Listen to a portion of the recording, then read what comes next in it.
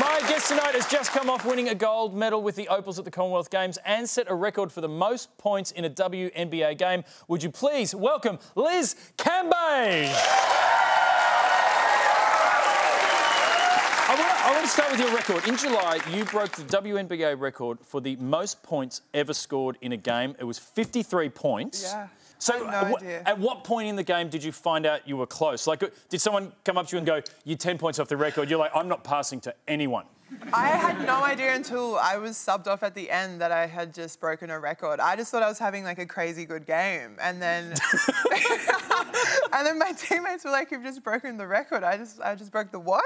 You're like, shouldn't balloons be falling from the ceiling at that point? Like, they should make a bigger deal out of that. It's the WNBA. They don't have the money for that extra for that extra stuff. But no, it, it was it was pretty dope. Yeah. Th- th- that's not your only entry in the record books, though. I'm going to play some footage right now. Here's some footage of you. That's you driving straight to the hole, dunking over some, I'll be honest, pretty lackluster defence. Um, now, that doesn't seem that incredible, but that was the first time a woman had ever dunked at the Olympic Games. Yeah, I do have to say there was a reason that my defender was behind me, and that's because we were kind of having a fight at the other end, and we got a bit tangled, and I might have like You gave her a wedgie and ran. something like that. But yeah, I uh, I ended up breaking away, and she left me way too open, and then boom, I made history, and I didn't even know that was even a thing. I didn't know that no one had ever, no female had dunked before at the Olympics. so why, why do you think it took so long for a woman to dunk at the Olympics? I think it's just evolution of the game. You know, we have girls in high school dunking now, and I really hope I'm retired before they get to the league because in America, the, the young girls are killing it. But um, it's just yeah, evolution and humans developing. Now, you're about to head back to the States to play uh, the upcoming season in the WNBA. Mm-hmm. Who are you playing for this season? Uh, I'm not really to go, allowed to go into that right now, but uh, I will be But it, it's like two weeks away, yeah?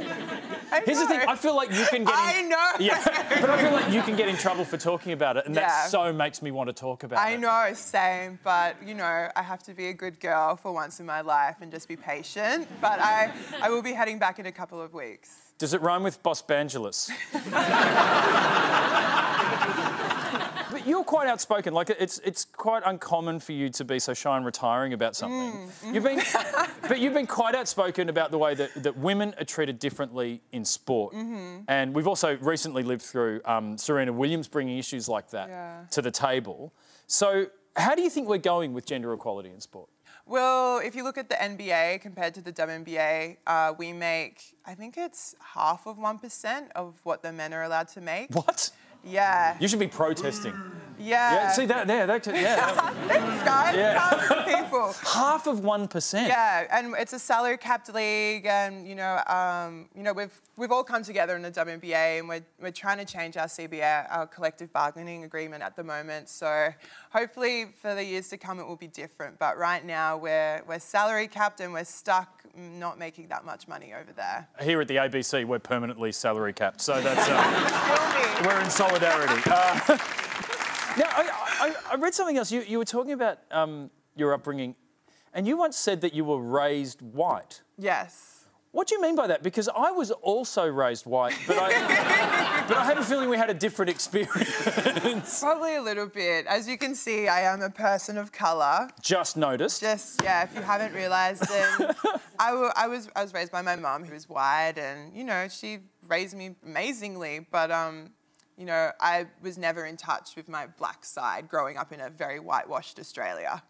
Yeah. And so, so how did you, how did that become part of your consciousness? Like you, were, there was a, mm-hmm. you know, famously a bit of a blackface controversy mm-hmm. within within the Opals. Mm. Um, was it was it controversies like that that brought that attention to you, or the experience of being in a more racially diverse culture like America? Yeah, I guess I spent all my teenage years trying to look like all the girls I would see on Australian TV, which are, you know, white blonde girls with blue eyes. And I would straighten and dye my hair. I'd wear blue eye contacts to school. And I got to a point where I was 16 and I realized this isn't me and this isn't who I am. And I just cut that all out and, you know, really owned myself and who I was. And it wasn't until I moved to America, it showed me how you know, diverse and put to the front people of colour and all, you know, it's such a diverse country and everyone's put on show there. And here in Australia, we, you know, market ourselves as a multicultural country, but we never see that on TV here. Now, let's talk about how you got into basketball in the first mm-hmm. place. I've actually got a clip here. This is your mum, Julia, talking about it. Have a look at this. It was evident that there was something really gifted about her as an athlete, even though she couldn't dribble, catch, or pass. so, but she's come a long way. Given your complete lack of skills, how did you make it in basketball? I was so bad. I was so, so bad when I started. And I only started basketball because I was really struggling to make friends. And then one Sunday morning, my mum woke me up and dragged me down to Western Port Basketball Stadium. And yeah, that was that. I had no idea what I was doing out of bed on a Sunday morning, especially running around. I was so not athletic as a kid. So, what, what did your mum do to encourage you through all of that? She told me once I uh, once I make my first basket in a game, that should give me ten dollars, and I get to choose which movie I'd want to go to. Wow, and, and, and I think that's the same pay at the WNBA now, isn't it? you get a you get a voucher for Now you are actually you are very good at shooting. Yeah, you're, you're very good from from the free throw line. Yeah. See, I do a bit of shooting around the office as well, Oh, really? but uh, I do it a little differently. I shoot scrunched up bits of script into my waste paper basket in my office. It's the same thing, man. So we are going to go one on one. I've actually brought oh, it in. No! This.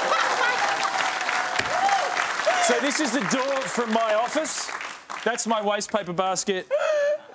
Here are some scrunched up scripts. We're going to take. I just say, every time I do this in public, like, it's horrible. Like, people will always be like, you're meant to be an elite athlete. You're meant to play basketball. So, Oh, thank you you, if- for bringing my worst nightmares to reality. Well, if you think I'm going to go easy, you have another thing coming. So Okay. I'm going to go first. Okay. Okay. And if you think I didn't practice this for hours today. okay, here we go. Ah! Yes! All right. Oh, you're in my house now, Cambage. All right, now, um, so it's your turn now. Walk off this set. No, no, no, no. Screw it. You're a professional athlete. Toughen up. Now, now, just before you shoot, you are you are the visiting team. So, um, Okay. defense.